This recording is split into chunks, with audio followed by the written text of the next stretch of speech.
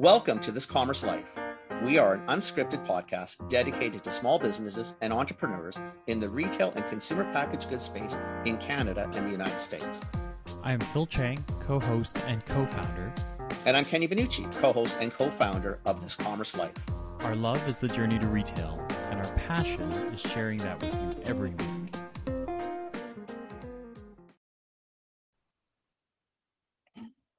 Hi, Michael. Not working? Um, I don't know. I can't.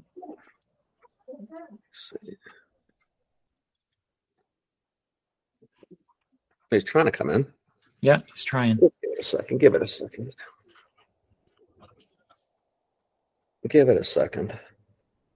I'm always happy to see it's not just my computer that does whatever his computer's doing. Hey, how are you? How you doing? No, we can't hear you. it's okay. Don't take your time. It makes me feel a lot better. You just do you. I'm I'm I'm totally Kenny good. Kenny goes through this every time. Michael. every single time. Bye. I just love it. Poor guy. Well, it's nothing worse when you're kind of on behind and then panicked. Yeah. Try Hello? again. Oh, there we go. Hello. How are you? Google does not play well with Safari. So and, it- Uh, and that's that's the default. So now it works. that's Yeah, funny. yeah, it's okay because usually Yeah. it's me. Yeah. So when other people struggle through it, it makes me just feel just that much better that I know it's some. It's just not Yeah. always me. Yeah. I actually don't love Google Meet. I have to tell you, it's I find it's the glitchiest of uh, of them. Um, Yeah. We we hear that too. I, I think the problem like because we we do uh this commerce life is powered by Google. Like uh, that sounds like a sponsor, even as I was saying it, but it's not sponsored and God knows Google is never of them be giving us money to do none of them are anything. But, yeah, yeah, but but we do use it for all of our stuff. And so for a long time we used Zoom. Yeah, For everything, right? Yeah. And uh, and we love it. But then we kind of went, well, there's some economics here, right? Is like we could do this, or we could just we could just use what's built into the Google platform so we don't have to pay extra, right? So totally, totally. so we've done that, but there are definitely drawbacks. Like it seems to be the one that's hardest for people to jump into. And then there's weird, like Google somehow doesn't like us congregating as a grid, right? Like everybody's like a single face, which I don't love. So, Mhm, mhm, mhm. Yeah, I don't get um, you know, like, yeah, it is very odd, but yeah, that's okay. yeah, yeah, yeah, yeah. It's Yeah, okay. yeah, it could be yeah. worse. Yeah, no, no. Like, look, you know, three, four years ago, everyone was like, hello, hello, is anyone, can I, you know, like, what's happening? You know, like, so at least now we're all, Look at the microphone. No? It's the microphone looking thing. Just hit the microphone thing.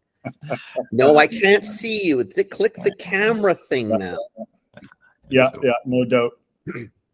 oh my. Um, it is nice to meet you. Yeah, it's nice to nice to uh, find a connection. Okay. Yeah, That's it's- all it's we're been- about. It's Doesn't been an evolution. So that's, that's, uh, you know, but, but Well, it's life, life sort of gets in the way sometimes too, right?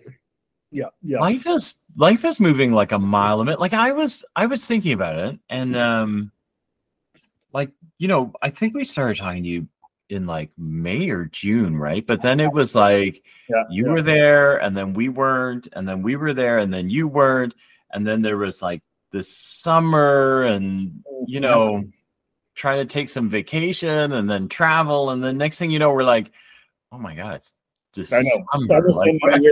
Where are you guys located? I'm in Vancouver. You're He's in in Vancouver. I'm in Toronto. Okay, okay. Yeah, Excellent. So And so where you? between us, we've we've I'm got not- literally in between. half Are you in. Winnipeg though? Or are you in Brandon or are you Winnipeg. in Winnipeg? Winnipeg. Got it. Got it. Got it. Got it. That's Yeah. Yeah. Yeah. Yeah. Um, we uh, so so we love this. We'll we'll I'll do an intro and then we'll just we'll just jump into it. Um, we have Michael Mikulak. Is that right? Yep. Um, so, so we've got Michael Mikulak on, and he is the executive director of Food and Beverage Manitoba. And so we're super excited to talk to you. We um, we kind of really love um, we have loved working with food and bev organizations. We uh, we spent a good chunk of time this year with the BC Food and Bev guys, Mhm. um, and then we've been talking to our friends in Alberta as well. We've done a bit of talking to um, Atlantic, Mhm. um, and then between between all of you food and beverage and food processor folks.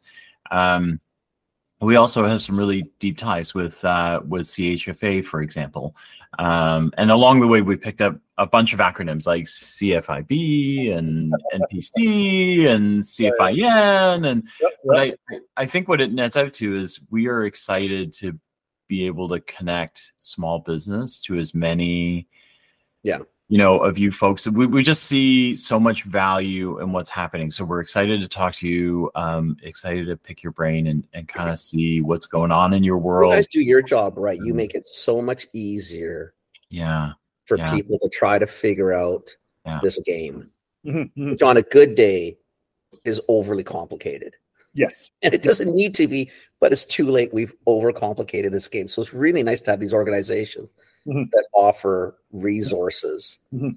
And so what we've been trying to, what we've been doing with, especially with mostly more with BC Food and Bev and with C, uh, Canadian Health, is we're we we become a mini resource for them as well and for their Mhm. um, membership. So I-. I, we're really excited to have you on. I think it'd be Yeah. really cool.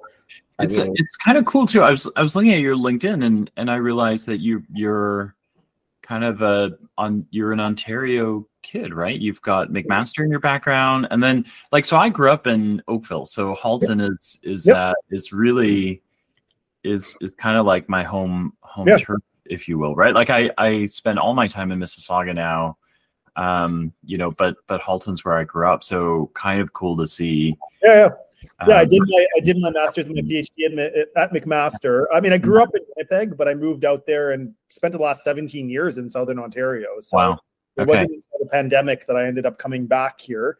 Uh, and sort of in the middle of the pandemic. But yeah, no, I know that area very well. Worked in Halton region for a little while. Worked at the United Way there for a while Yeah. as well. So very, Yeah. very rooted in that community as well. Very cool. Very cool. I Okay. have no so- idea where you guys are talking, and that's all good. Yeah, yeah. So, so it's you know, I so got Kenny, Oakville.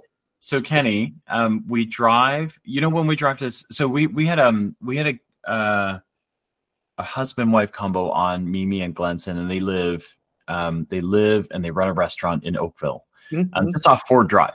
Um, you know, so that area, and so that's about as far as Kenny goes before he starts complaining about driving Yeah, um, from, from my house because I, I live closer to the airport. So by the time we get out there, I got to feed him. Otherwise, you know, you know It's too so long. yeah, yeah, yeah, yeah.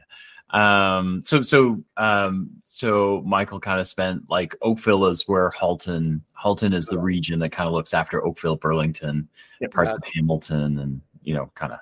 Um, anyway, I'm going to shut up now. Next 40, 45 minutes ish. Yeah, yeah, about that um, is yours. We would love to hear about. Um, you've started some of this stuff. Um, you've got some teaching in your background. You've got a whole bunch of things in Halton and then Winnipeg. So we kind of want to hear your journey and then and what you're doing with food and bev now, which is pretty cool Mhm. too. Yeah, yeah, absolutely. Yeah, so um, I, I've taken a very weird path, I would say, in terms of my career. Um, I, I, I sort of consider, you know, I think something that's always been kind of central to it has been food. Um, so, and that for me started um, actually from an environmental kind of perspective. So, when I started doing my master's and my PhD at McMaster, I was interested in kind of um, sustainability. Uh, and I, I wanted to understand how people think about this kind of, you know, back then in particular, this kind of elusive thing that people were talking about called the green economy, right? And uh, and I think for you know the more people that I talked to about this, uh, the more I kind of got a clear sense that it was confusing. People didn't understand it. And so I got really interested actually in food through um, back in probably about 2005, 2006 um, when the 100 mile diet became really popular. Um, so uh, the whole locavore movement, right? And so I was sort of in a fortunate position. I was in doing my PhD. I was looking at kind of everything from policy to like popular narrative. So I was really interested in like kind of um, writers like Michael Pollan, uh, figures like Jamie Oliver, these kind of folks that were looking at food systems transformation from that popular kind of popular culture lens, right? right?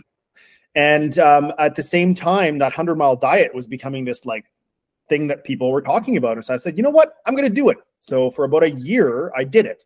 Uh, I started going and and I was very strict about it. I, I said I'm going to get everything from 100 miles around ha- around Hamilton, and uh, and uh, it was wow. Wow. I, I, it was an eye opening experience. This I'm was, sure it was. Yeah, this was in 2000. I think I did this in 2007. So this was before a lot of the infrastructure was there. Uh, and it was very eye-opening. I was sort of like, I had, I didn't really know a lot about it. I had no farming background or anything like that. I love, I liked gardening and things like that, but I was like, you know, I'm gonna have to figure this out. So I started actually interning on an organic farm. I started meeting with local producers. I started learning how to can, how to bake my own bread, how to make my own cheese. Like I really started sort of getting wow. into that whole kind of lifestyle during that year and trying to incorporate it into my thesis work at that point, which was kind of bringing together policy, kind of community economic development, popular narrative, and using the 100 mile diet as a way into that whole thing. Um, I had a bit of a aha moment at one point. I remember I was looking at that point, I was vegetarian and I was looking for beans. And I was like, I know there's beans because I drive by all these bean fields that are being grown in Ontario. So I'm like, certainly I must be able to get beans to be able to eat uh, to eat through the winter. So I start calling around, find a distributor, ask them, "Hey, can I buy some beans from you?" And they're like, "Sure. How many tons would you like?" Like I, I don't want tons. I want a, I want a couple bags of beans. They're like, oh, we don't sell beans locally. I'm like, well, why? I'm like, well, well, Ontarians don't want to pay the prices that Europeans will. So we actually import all of our local beans for sale from China, and we export all of the beans we grow to Europe. Oh my god! And I was like, wow, that's crazy. Like that yeah, is, there's nothing right on that. No, and I was just like, and the fact that you can actually economically make it make sense is yeah. even worse. Yes. And I think for me, that was that moment where I was okay. Like, what? How does this relate to this idea of a green economy, and how does this relate to like things like community gardens, which were becoming super yeah. super popular at that point? So I started. Um, so all of those pieces were kind of coming together uh, through my dissertation, through my work. Eventually, this turned into a book called "The Politics of the Pantry," that kind of brought all these uh, pieces together and and I started to really um, try to understand how do we use this interest in local food as a way to access some of these harder policy discussions, right? How to talk about things like why is our food system organized this way? How do we fix it? And how do we avoid some of the kind of simplistic traps? I think because I was initially also sort of like, well, local's always better. Uh, it's not. Like it's there's a lot of cases where actually the environmental footprint of shipping things in is actually quite a bit better than say everybody for example driving to their local farm and picking up their food. Right. At one point i actually did start a small organic farm uh, fed about 60 uh, 60 folks off of like a quarter acre. So a really sort of highly productive um, sort of environmentally focused farm and it was, uh, you know, one of the things that I really realized early on in that journey was, hey, if everybody drives to pick up their food at my farm, I basically negated the whole carbon right. saving that, that happened there. So we did something, we defaulted and did bicycle based delivery for everybody. Uh, and just sort of worked things into that. So like little things like that, where I want, I was, I became really interested in that. Ended up sort of taking me in various uh, directions. I taught uh, university courses around food systems. I spent probably a decade teaching in different universities around that. Um, I worked, I, like I said, I started a farm that was sort of focused in on this and eventually got into kind of the funding side of food insecurity. So I started working, that's where I started working with Halton Region and the United Way on sort of looking at that kind of granting for programs that sort of fund and connect things like urban agriculture initiatives with mm-hmm. mental health creating mm-hmm. social enterprises that can support these kinds of things and so uh, eventually it ended up uh, ended up with my current role here like i said during the pandemic i decided that i wanted to kind of come home and back to uh, back to manitoba be closer to my family uh, bring uh, let the let the kids you know know their grandparents a little bit more And that's when I started working with the food processors, the transformers. I hadn't actually at that point really worked with the processors, and so uh, really interesting. Lots of uh, lots of uh, lots of learnings there as well. Well, because you've done a, a, you're all over the place. I mean, all interconnected and interrelated, but Yeah. and very different. Like you know, it's very different being on a farm than being in a processing plant Yes, uh, versus being on the other side of in academia. Like I mean, you're really all over the place. Any Yeah. um any Yeah. surprising moments? Like eh, like it I don't think it means anything because I think I think you're you're doing some amazing things, but that first moment on a farm or kind of being able to do that, were there any kind of like surprising aha moments for you? Oh, so many all the time. And I think I think part of it, it uh, part of the reason that I like sort of putting on different hats is is for that is is specific. Like I'm I'm the quintessential kind of lifelong learner. I'm sort of Mhm. addicted to kind of like Yeah. new novelty essentially Yeah. and sort of figuring out and I think where I've really been able to, and I think this is sort of generally, this is kind of my humanities soapbox, um, is that I think we often forget the role of the humanities in playing that knowledge translation role, right? Um, a lot of our systems are siloed. And so we work in like very distinct buckets. Like I am in government and I do this policy work on health and education. I do this policy work on food and agriculture. I do this on environment and climate change. And I think that works to a certain extent, but I think we start to lose interconnections. Uh, so one example is so Phil, you're in the Southern Ontario. When I first moved there, uh, 2004, I was shocked by the smog days. Right, uh, the the just the black, the black and the brown smoke everywhere. I was like, how do people live through this? This is insane. And when they got rid of the coal plants and the smog days disappeared, that was pushed forward as a green energy initiative, a climate change initiative. When the reality, and of course it was, it was one of the biggest sort of initiative, uh, biggest uh, impacts on kind of climate change that Canada had ever done to that point. But I would say one of the more important impacts of this was childhood asthma Yeah. dramatically reduced. Yeah. We were at a 30% childhood asthma rate, and that's been falling ever since, right? Yeah. That's not accounted for. And I think that was my original interest in the green economy was like our economic model isn't adequately making these connections, right? Isn't mm-hmm. connecting the kind of costs in one area with the benefits in others. And so it becomes an incentive problem. It becomes an incentive alignment problem, For right? sure. And Yeah. Uh, sorry, that's- it's that's the super relevant. I mean, you look at the conversation we're having with retailers now, yes. increasing costs, right? And you've got, I- I think, even the industry that, you know, we're in an industry that, quite honestly, as brands and retailers, we, we pay attention to ourselves, right? We don't really worry about what's going on. But Right. even the conversation over here about like, guys, like these costs keep going up. And then we've got this government, all these kind of governments group. Well, let's throw some money at this. Let's let's uh, put a cap on this. Let's put a tax on this. And you kind of go, no, no, like we're over here and over here, but all of the stuff in between That's that right. make this do this, we're, we're not. You know, so I, I think at what you're doing, like, We're trying to put, impose a policy yeah, from a government level, and you're looking, but you guys have no clue what you're doing. Mhm. Like you don't get the point. And then you're looking at the other side, thinking, "You guys, we're we're killing each other here." Mhm, mhm, Like this, we're not.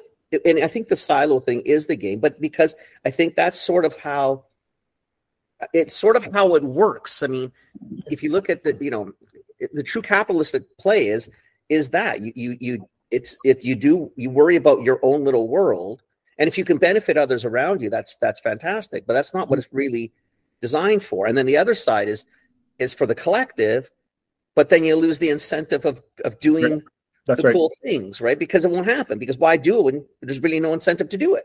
That's right. That's it's right. Kind of, like I agree with you. It's, it's funny though when, when you when you talk it, and then you think, well, shit, no kidding, we're in so much trouble because it's hard to get all these. so we Buckets interrupt you. What what is the solution? Give us the. Well, listen, you got listen. You got about thirty minutes. Tell us what to do. we and let's go. hear we hear the promised land. We're we're following. exactly. Michael, help us all. Save us. Yeah. Well, I, I, do think, I mean, I do think it is about breaking down those silos. And I think because I mean you, you talked about incentives, Kenny, right? Yeah. And I think this is this is really crucial. And I think it's it, it's going to take some creative thinking around this, right? I think we get stuck. So like right now, for example, we're stuck in this like debate about the carbon tax, right?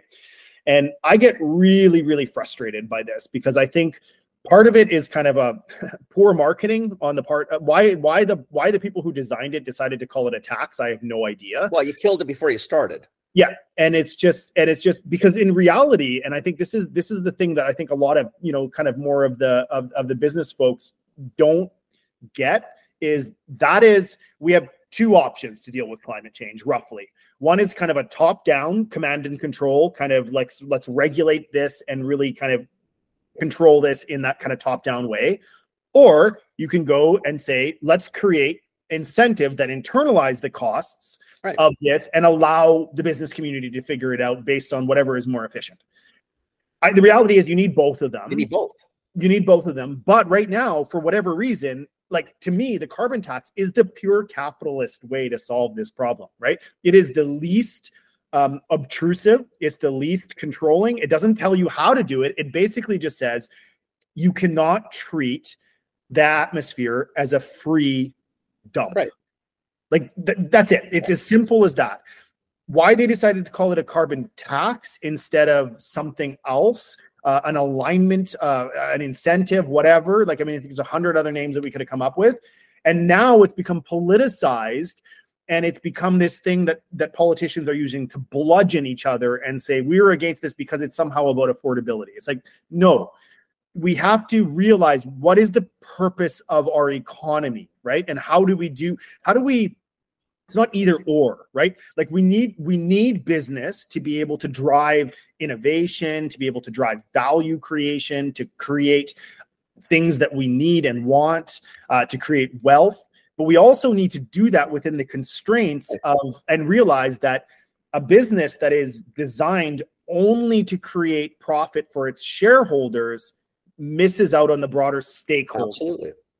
And and I think it's become so either or. And and I think again, this is where sort of you can see it in my career path.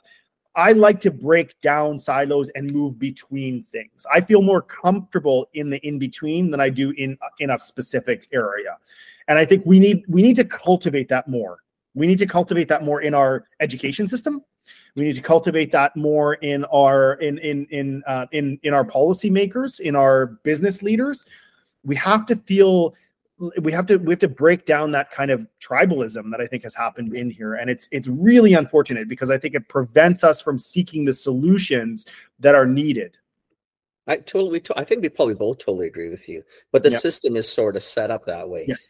That's two right. parties, three parties. That's three, right. Two silos, three silos. Yep. I've got a business side like, versus this like side. It, it's it's thinking, listen, yeah. Capitalism works within mm-hmm. a socialistic world and vice right. versa. You can't That's you right. can't run independent of each other because no. we've shown worldwide neither works on their own. No. They just don't. They don't. You they can't, don't. You can't I focus also, on an individual and a community. But Kenny, I, I also think that we are like so so kenny and i live in this in between world right? Like we because do, that's what we need to be. in between we do a, a, lot of connecting we do a lot of and um, probably the parts that get the i imagine that you probably get the same looks actually. Um, I, i'm actually like smiling a lot here because I, I just think i feel like we're kindred in this sense mm. is we do a lot of connecting the dots we do a lot of like telephone operator sort of stuff yeah, and yeah. there are a lot of moments that people look at us and go we don't understand. So yep. do you do this for money? Do you do this? And sometimes we go, yeah, we get paid for some of this stuff, but a lot of this stuff, we just think you need to talk to them. That's so right go, you know, I don't need to be here. Off you go. Or I'm happy to be in the middle of it. Like I just, I just think like we just think that you should be here. Right. Mm-hmm. And then we'll go and do that. And we, we get a lot of confused looks actually a lot of times. Right. Yeah. Um, yeah, well, but we hear society, we've played sides now, and it's unfortunate yes. because it, there is no left and right. There is no red and blue. We'll play with American colors. There mm-hmm. is none of that. It's all mm-hmm. everybody is in the same pot.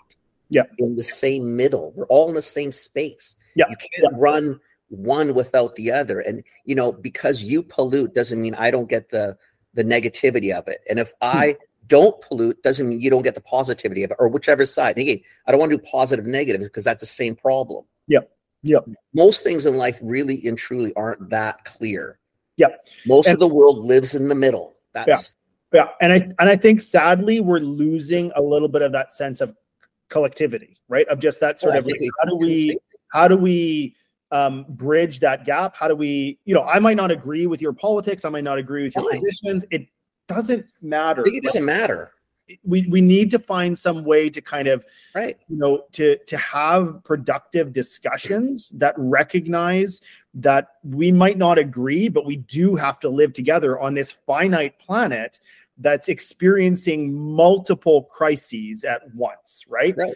And and if we can't deal with the kind of equity problems that we're dealing with if we can't deal with with um, you know in canada truth and reconciliation um, with our indigenous um, uh, um, uh, brethren if we can't deal with sustainability in a way that doesn't alienate and at the same time doesn't recognize that yes people's jobs are going to be disrupted and we have a responsibility to make sure that there's some kind of safety net to connect or to catch them and retrain them into different ways make them part of it right like i think these are all really important kind of um, big wicked problems that cannot be solved with ideologically quote unquote pure kind of positions we It need to, we need to be comfortable in the messy middle It won't work the other way. You're right. I mean, you Yeah. think about all through time, Yeah. things have changed. You know, at one time the mechanic was the guy who was who took care of the horses and put horseshoes on. Yep. Horses have now become really a, a nonsensical animal on the planet. They don't serve a purpose anymore. Love horses. No Yep. problem with horses. No horse haters. Love horses. But let's be serious. They don't pull blank carts anymore. We don't use them to get around. Did, I, Yeah. did I just hear you Like say what? that you hate horses? Is that what I You know heard? what? See, this is where Phil, Danny. you know, Chang, Oh my gosh. it's still early. But How do you know is, you, you might most people totally be offending Michael here? Like I don't oh my gosh. people. my daughter is going because horseback they're riding smart. tomorrow i'll just tell her that i spoke to someone who really hates horses Just hate horses. Yeah. Love horses. Yeah. but at the end of the day, like it's always a classic example. I mean, that's what all people did. Yeah. You moved an entire world into a different spot. We still function. Yeah. Yeah. you don't have to dig in. So I think that's the problem. We've gotten this feeling as a society in general that you need to dig in. yes You don't need to dig in. Yeah, you should have you should have an ideological idea of where you think the world should be. I have no issue with that. yep yep But again, it's probably somewhere in the middle. And the extremes don't fix it. It's Yep. there's 90% of us park in the middle.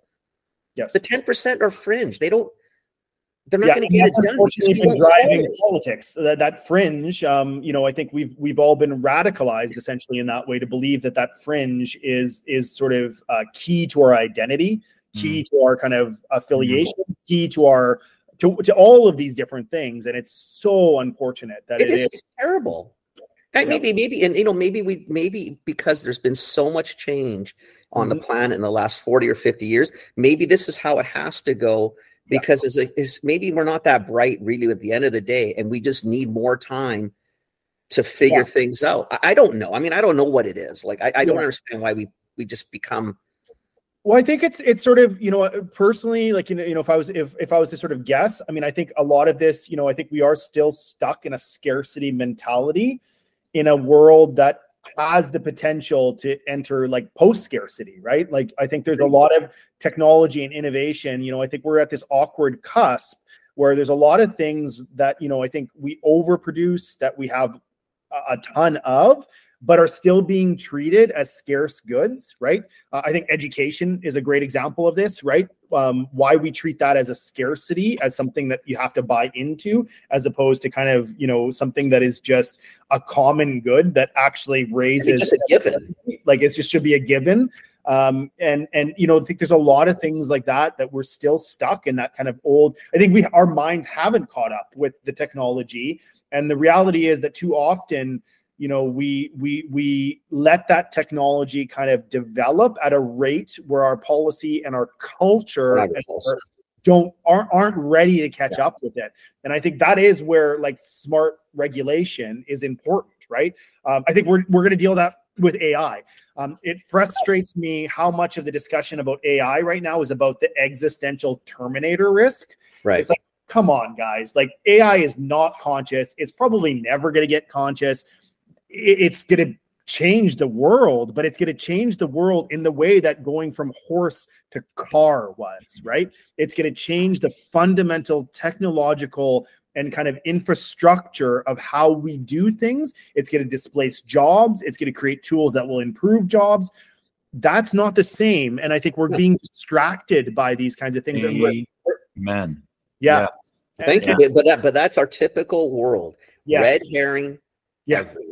Everywhere. It's everywhere. just as soon as someone says, "Hey, we should do this," every you know, it's and it's it's it's a side thing again. Yeah. Again, if you talk to the folks parked in that sweet spot in the middle, most mm-hmm. people are scared of it. Yes. And there's some reasons you should be. Yes, yeah, yeah. But for the most part, it's probably going to make things a little easier. Mm-hmm. But just try to figure it, it's it's there, right? Yeah. But I mean, I don't know. Maybe again, maybe we just need it's the reset, right? Yeah, and I think part of it is like, I mean, I think it comes down to trust, right? I mean, if you look at, so you know, if you well, look at something like the rise of, so trust in public institutions has gone down for the last twenty years, like significantly, right? What? No, no, no, no. Big No. time in the last five to ten years, like huge, right? It's just, yeah, Yeah. Yeah, and, and I think a lot of it is because you know we've seen our politicians and we've seen kind of and and and, and I don't want to accuse the politicians because I think a lot of this has actually been spurred by the by uh, another impulse, which is like let's deregulate everything, right? Let's deregulate and like leave it all to the market, right? And I think what that's created is this: we've really eroded any kind of sense of security that those displaced by that technological change used to have, right? It used to be that as industry got more productive, right? After World War II, everybody did get wealthier, right? People did have, there was that opportunity that you could support a family. right. That is not the case anymore. Not anymore.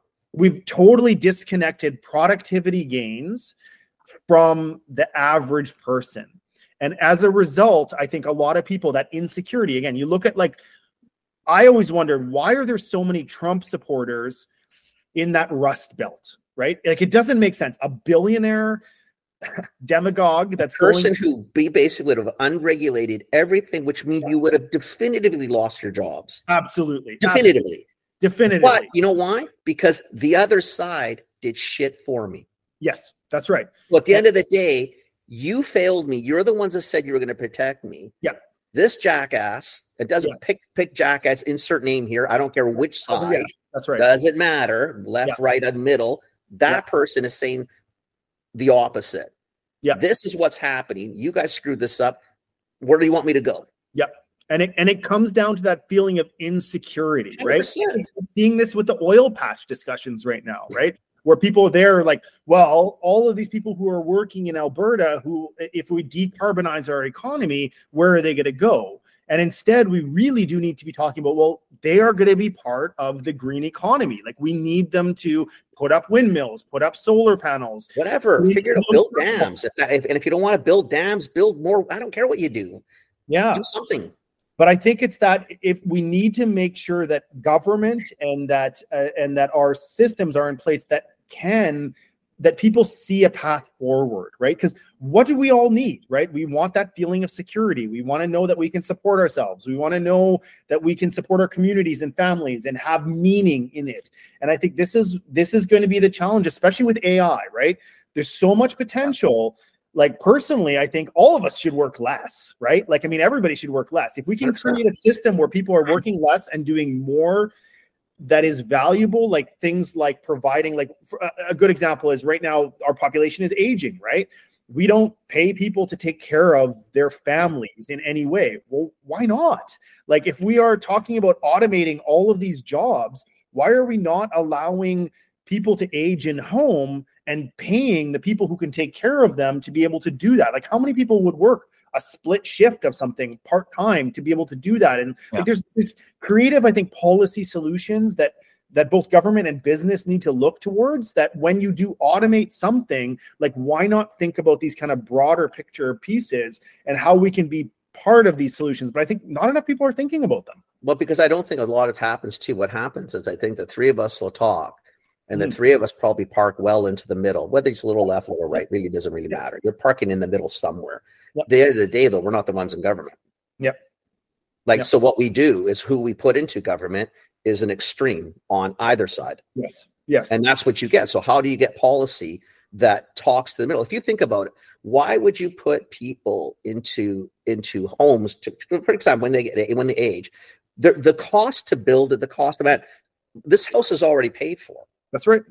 There is no cost to society at Nope. this moment for me to go to the end here. Yeah. You know why? You don't owe. I don't owe anybody anything, and they don't owe me anything. Yep. It's cheaper for someone to come here than me to go build something like this that's for ten thousand people. Yeah. and have ten thousand people in it. I'm I'm already here. Mhm. Uh, I don't know. I, I I'm not sure. I'm not sure about that one, Kenny. I You know what, I think I think there are other benefits, right? There's Like tons being- of things. But my point is, having a it just community opens for someone. It does. You don't have to Yeah. do it though. I mean, Mm. I don't care, but it's it's Yeah. worth a talk sometimes. I think Agreed. what we don't do is we just what we do is we discount it because what we'll say, well, that's a socialist move. We're not talk about. It. Oh, that's a capitalist. We're not going to talk about it.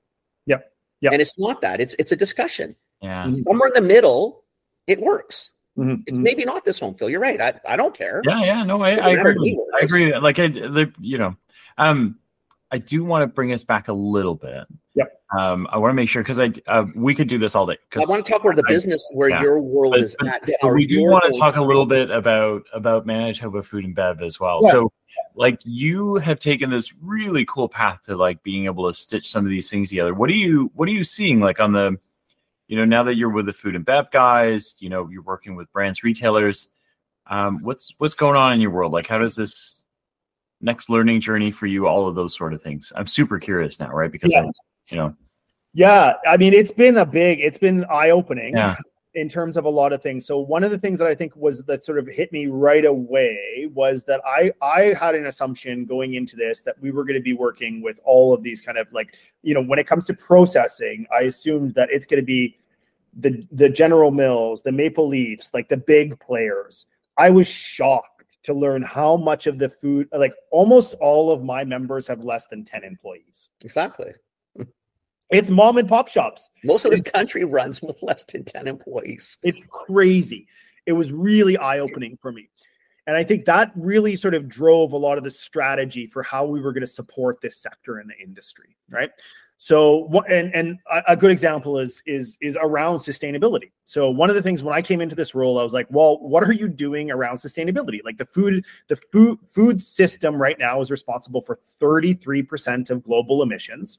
It's responsible for 80% of all water use globally, and it's responsible for about 70% of all land use. Governments have sort of, I don't want to say ignored it, but this was the first meeting of the of COP that mentioned food system transformation as central to climate change mitigation and adaptation. The first one of uh, what is it, COP 27 wow. that is shocking like and it is just shocking to have literally the single biggest industry impacting and impacted by climate change and i think this is crucial we are all suffering because of the rise of prices that are happening at the grocery stores Right. It's only going to get worse like think about how much it was impacted by the war in ukraine and how it rippled through commodity markets and what it's doing. Imagine when whole regions crops collapse because of of of, of massive droughts, of heat waves, Yeah. of heat domes, atmospheric rivers. We are entering an era of disruption. Yeah. It is only going to get worse if we can't deal with this. So what does that mean for food insecurity for for for all all of these big all of these things? And so when i got into this role i was like why aren't we talking about this? Like why aren't we getting around why aren't we advocating more to government to provide supports that are targeted? And especially why aren't we doing this for the small producers that are the backbone Mhm. of this system who cannot do this on their own? And who if we don't support will disappear Right. and so a lot of our efforts have been around that, have been really around how do we move the sector into this. So one and, and it's it you know we've been doing it in different ways with curriculum, with training, with partnerships. But one of the key ways we've been doing that I'd like to put in a plug for is is a conference that we've been putting on. This is the second year we're putting it on called Cultivate. And so Cultivate, um, you can find all this information on our website. Um, the first one we did um, was last year in September, and the goal was really to kind of actually scare the industry a little bit to sort of say, hey, this is coming. How are you prepared for this? Like, we already see the EU putting in really strict regulations around this. We have a plastic, a single use plastic ban that at that point was still just on the horizon. We have all of this consumer kind of push towards this. And the reality is, again, like from that standpoint of climate change mitigation, even if you ignore it, it's going to come down to affect your bottom line because of the commodity price disruptions, right? These kind of systems are not immune. They're actually extremely vulnerable to these changes, right? Perfect. Yeah. And so a lot of it was sort of like let's let's paint the picture, let's get people sort of looking at this and let's let's try to start threading a narrative saying what are the opportunities here in especially western Canada to lean into becoming kind of one of the more sustainable kind of food producers in the world, right? Because I think we have all the right pieces. Mm-hmm. Uh, this year, our focus is in on net zero. All of the big brands are making net zero commitments, right? A lot of industries are making these really sort of broad pronouncements about get to net zero by 2050. We're seeing it in Sobeys. We're seeing companies like Maple Leaf. And so we br- we're bringing all of those folks together in this conference to say, here's kind of what we're doing, how we've approached this, how we've shifted our strategy, and here are the uh, the people that can help you make this a reality. So it's that big picture, kind of like aspirational, broken down into tactics into those strategies that and and into the practitioners that can really support you and say yeah here's this technology that we have that's going to help you look into your supply chain and calculate your footprint and make actionable insights around hey if i want to if i want to reduce my my into this and then report out on my esg targets because this is again something people don't realize the banking regs have changed in canada there's mandatory ESG requirements that are coming out over the next couple of years. If you do not have your a picture of what your greenhouse gas emissions are, you are not going to have access to capital in the next couple. Right. Um, you are not going to be able to export to many jurisdictions in the world. Um, these are fundamental risk management yeah, that you need to be making as a, as a business. And how does a business with five employees where maybe everybody wears every hat how do they how do they adjust to this? How do they how do they adapt to this? Well they you know like i mean yeah we work with similar people and sometimes you know sustainability is yeah i'm sustaining myself right? I'm sustaining yeah. my five employees. like the pay people at the end of the day. Like you know esg is what right? And you're like yeah. uh environmental social governance and they're like yeah you got it. Who does that what department ourselves you know you got like we're in business you know like so it's kind of amazing um for listeners um the link to cultivate will be in the podcast notes as well. It happens in february february 6th Victoria Inn in winnipeg. I just want to make sure yeah. the plug is complete.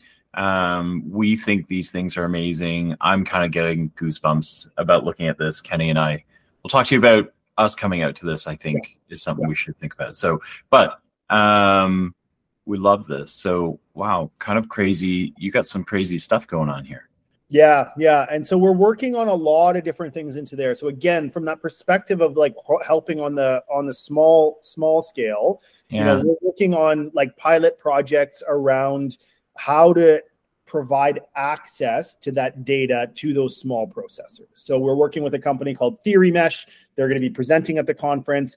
They've got a really interest. They're trying to leverage kind of a lot of the farm data that's yeah. sort of available. You know, that John Deere tractor is pulling things all the time. There's satellites that are out there. They're trying to leverage AI to be able to sort of say, okay, well, here's kind of how here's how we can estimate carbon sequestration in this kind of soil that has no till applied to it and these kinds of things and really give you those kind of granular insights that until now have been only accessible to companies who could put out a, a couple hundred thousand dollars on a life cycle analysis, uh, and which is just a snapshot. It's just a snapshot. Yeah. Um, and so I think we're in an exciting period. I, I liken it to what happened 30 years ago with food safety when a whole industry was born around HACCP certification, around training staff, around uh, supply chain management, about all of these things that happened about you know 30 years ago or so around that that Mhm. fundamentally transformed the industry and actually led to Canada becoming one of the most sort of sought after companies in the world around food safety, right? And around that kind of ability to provide high quality and some of the safest food in the world. I think we're going to see a similar thing emerge with sustainability. And I think the key is to make sure that we're avoiding the path of greenwashing uh, and that we're doing it in a way that is truly authentic and that is transparent. That ESG, right? Environment, uh, uh, the social, and the governance. Yeah. We forget the importance of that governance. It's not sexy to talk about governance and about Well, nobody likes to talk about regulation and someone watching and managing it. But at the end of the day, Yeah. if you're, let- No, if you you're need allowed to run amok, you will run amok. Yeah. Well, and clarity. I think it's really important for like people like like regulation is kind of this dirty word often, and I'm like, no, because if you if you give clarity in a uniform kind of a uniform playing field, then you can start making long-term plans. I think what is really challenging for industry is to say, I don't know where this is going. So how do I invest in a technology that has a 10 or 20 year payback if I know if I don't know? Like, and this is I think one of the most dangerous things about the pullback on the carbon tax and a lot of the ways that we're doing this. It could derail a lot of the investments that folks made to become more sustainable by really undercutting the kind of economic incentives and alignments that are really Right. sort of underpinning it. And it's dangerous because it, it really means that then these, I think in a lot of cases, these very well-meaning companies who want to invest in these things, when those incent- incentives aren't aligned, they are going to make the smart business decision, which is ignore Don't it. do it. Don't do it. Don't do it. So you need that clarity and that flip-flopping back and forth is going to set us back. And I think I'm I'm a true believer that Hmm. we have a window right now. Most infrastructure investment, it's decades, right? You're talking about decades. So we will get locked in to investment decisions that we make right now. And the reality is, all of us, we actually have a huge opportunity in Canada. A lot of infrastructure is coming up to the end of life, right?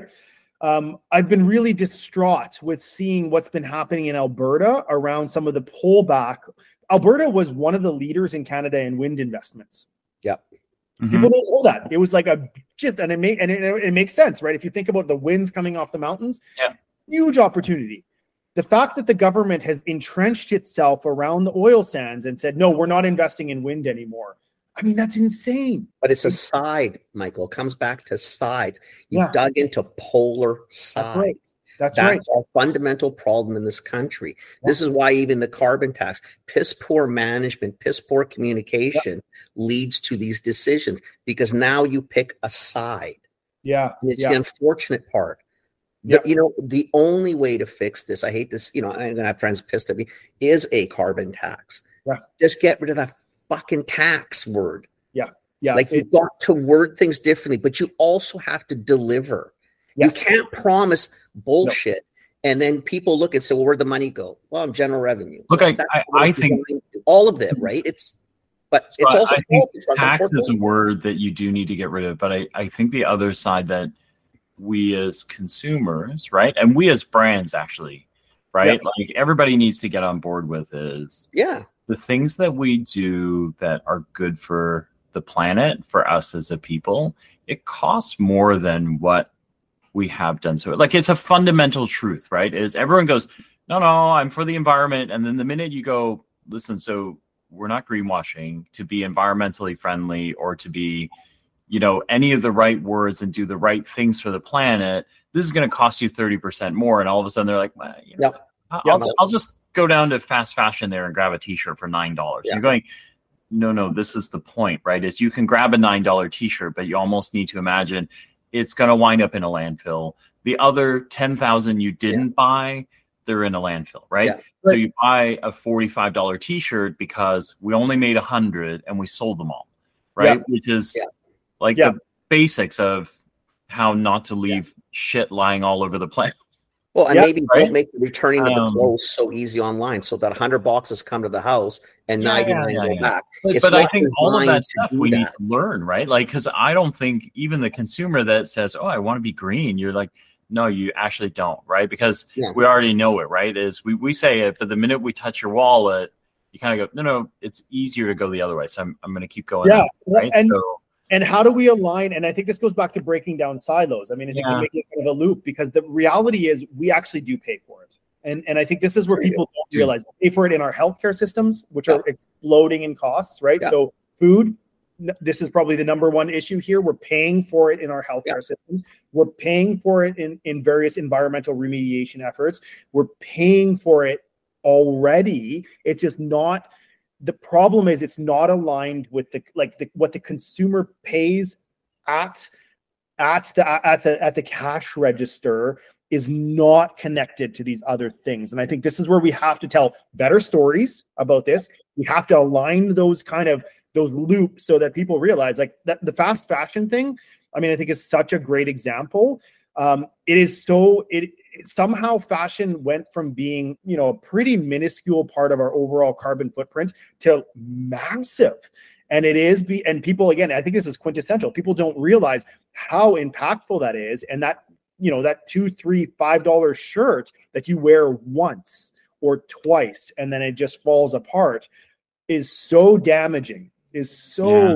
damaging to the environment and to and to and and you know is, is in literally covered in in um in slave labor in a lot of cases right like is you can't leave it up to the consumer because the consumer will also make the rational choice which is i want the cheapest thing Well, Yeah, I can't that's afford it. So guess what? I need a shirt, guys. Yeah.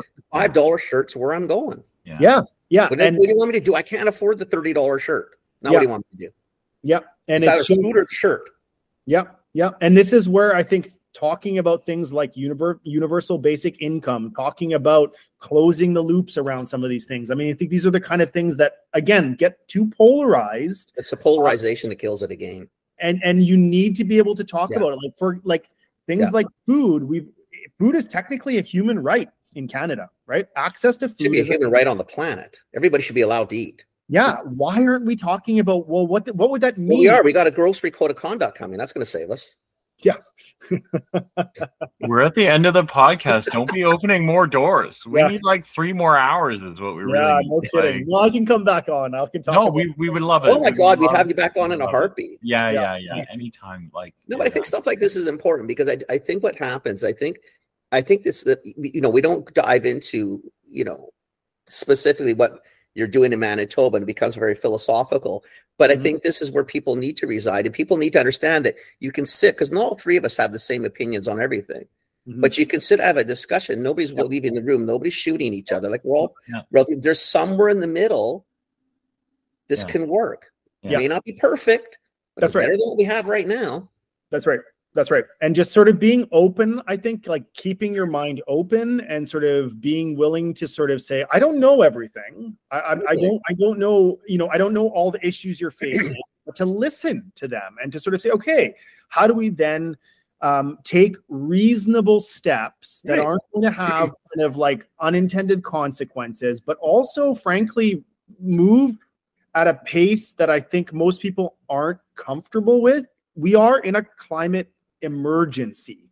And I think people forget that. Like, this is not something we, if we would have started this when people were talking about this in the late 80s, we could have gone slow and steady and really kind of like laid out a bunch of this. We are not at that point, right? I mean, I think every year that the IPCC comes out with a new report, you look at it and you say, wow, last last year's worst case scenario is now our best case scenario.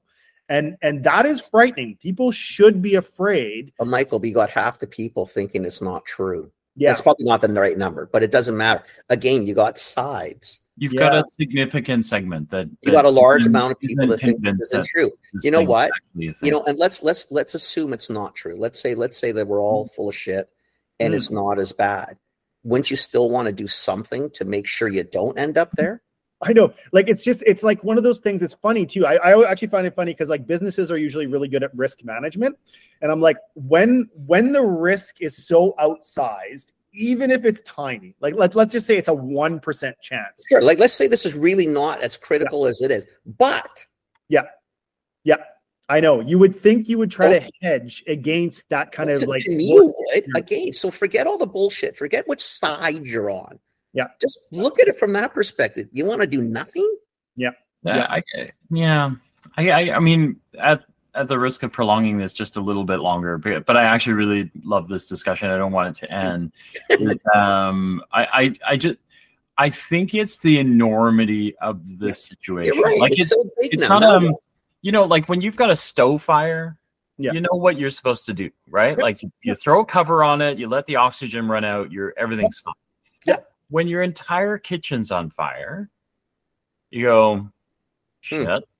Yeah. I kind of know what to do, which is to get everyone out of the building and hope I can get a garden hose on this and call 911, right? Yeah. When your entire house is on fire, you stand from the street and watch. You know, you, you can, yeah, right? Like, and so you you, wait for kind the of fire go, department to come, and you're basically you're, you feel helpless. like and the it's out of thing's done, right? Like the minute your house catches on fire, the whole house, the thought is it's done. Like I, I don't know how to rescue this, right? And I, I do think that in some senses we've done a little bit of that where I actually think more people are wrapped around this idea that we're on fire, except that it's the whole house that's on fire at the moment, right? Yeah. And so I think there are there is that of, well, it's just me.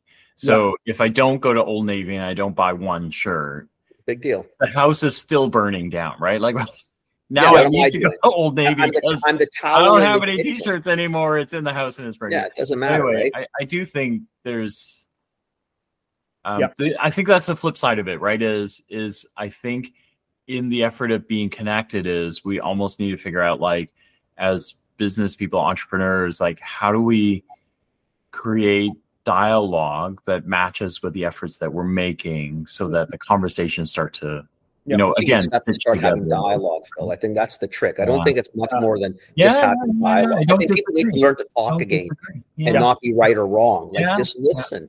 Because sometimes, again, somewhere in the middle is probably the answer. It is not on the fringes, typically.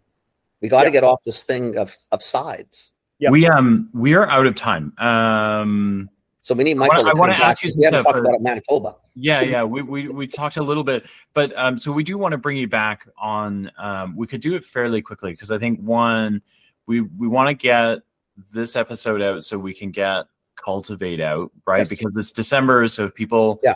don't know about it and they want to think about going, they should probably be doing that pretty quick now. Um, so we'll do some of that. If people want to find you, where do they find you, Michael? Yeah, so check out our website, um, food and beverage manitoba.ca. Uh, the contact is into there. Um, you can uh, you can share my email address as well if people want to if, if people want to We'll share out. your LinkedIn. Maybe that's a Yeah. We'll do that. We'll share your LinkedIn. We we Cool. tend not to try to share emails. No, fair Um, enough. Share my yeah. LinkedIn. I'm I'm happy to connect with folks. Um, you know, I think Cultivate's a great opportunity. Um, we already have people, you know, who are coming in from across the country. I think we're trying to provide something that's a little unique, uh, that is not um, that is not. You know, obviously there's a Manitoba focus, but I think the issues that we're dealing with and the folks that we're bringing in are not Manitoba specific, right? Right. Like these are issues that are sort of the whole industry is dealing with. And so I think there's a real great opportunity to learn from each other, uh, to and, and really to start creating a community. And going back to what you were saying, Kenny, which is building bridges, is is, is to find those ways of of saying, hey, what is my role as a small entrepreneur in this Right. bit? you know because i think i think your metaphor of the house on fire phil is is bang on i think a lot of people they've just kind of thrown their hands up and said i can't do anything about this Yeah. but the reality is that every set like to, to build on that metaphor it does matter each decision each second each each like there, there's a big difference between 1.5 degrees of warming and 2 and 2.5 and 3 so it, it- how much of the how much of the house is going to be left standing what survives makes a huge difference. So the way we react, and and again, I think we've been kind of conditioned to to feel like individual responsibility on both sides. Individual responsibility was either everything, so it was all on the consumer, and then I think we've swinged back and sort of saying now it can't be because it's impossible at this point. It has to be on that systems level and policy. And I think the answer is somewhere in between. It, it's not either or. It's like we Yeah. have to. It's still useful to throw your your fire hose onto the onto the It house. It won't hurt. It won't hurt. It's still gonna. It, it- maybe you'll buy some time before the fire fire department gets there and can put out the fire. Yeah. Uh, and then maybe you know maybe you know the the outbuilding is going to survive and some of the Yeah. other things right and like it, it matters it It matters does. Maybe your neighbor will come with their hose. Because imagine what happens if we get back to sort of that, yeah you know, working together to try to stop the house from burning down, Phil. that's right Like typically there's Yeah. four sides to the neighborhood. So everybody out with a hose yeah that's does right add up. Yeah, and I and I think that like resisting that temptation to kind of like say there's nothing I can do is Yeah. so crucial. There is something that everybody can do. Yeah. Uh, and and I think it's and and I think business has a role. There's already incredible, and part of it is celebrating. Our conference is about celebrating the incredible work that companies are already doing. Uh, one of our title sponsors is Maple Leaf, right? They are the largest carbon neutral food company in the world, and they haven't stopped at that. They are going now and bringing everything in house. They're doing biodigesters, investing in regenerative agriculture. Like this is incredible. The work that's being done by leaders into the, uh, in this, and so we're there to celebrate what companies are doing, but also challenge them to push even further and faster. Yeah. I love it. Good job, man. I love it.